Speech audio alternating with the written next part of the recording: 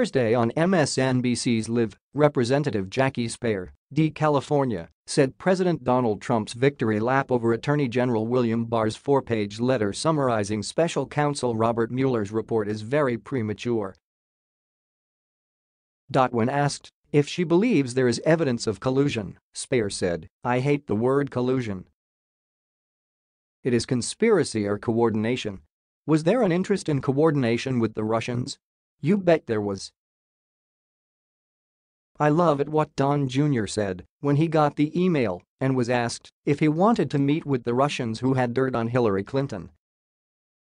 You have Paul Manafort meeting in a cigar bar in New York City with Konstantin Kilimnik who has ties with the Russian GRU which is their KGB, their spy operations.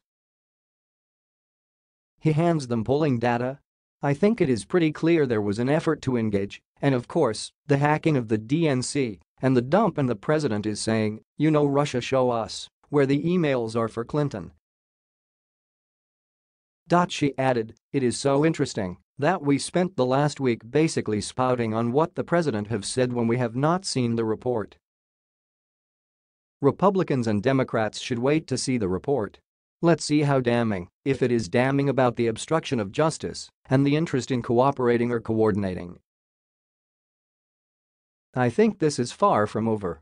I think the victory lap is very premature